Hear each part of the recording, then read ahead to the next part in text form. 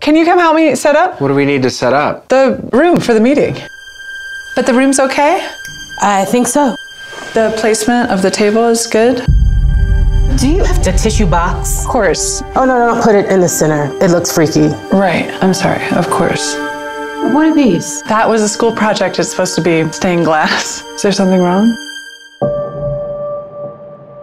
I don't know if I can do it. Is the room okay for you? Table, chairs, Jesus watching us. It's great. Richard, Linda, this is Jay and Gail Perry. How are you? We're fine. Thanks. I'm grateful to see you all together finally. And I'm hopeful that we all think that this was a good thing to do by the time we leave here today. We want to listen and we want to heal.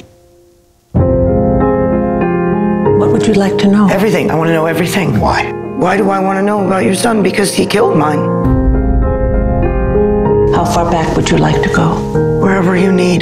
Because I can tell you everything. But there's so much that no one will ever know.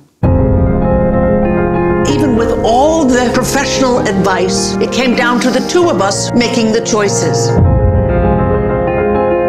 Where's your regret? The worst outcome imaginable happened. Any change I might have made could have resulted in a different outcome. I regret everything.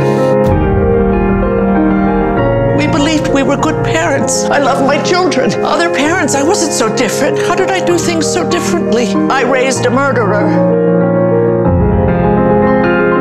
I know what happened. No, you do not know how my son died. You do not know. I know.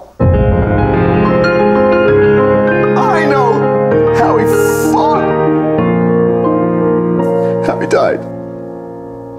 We died.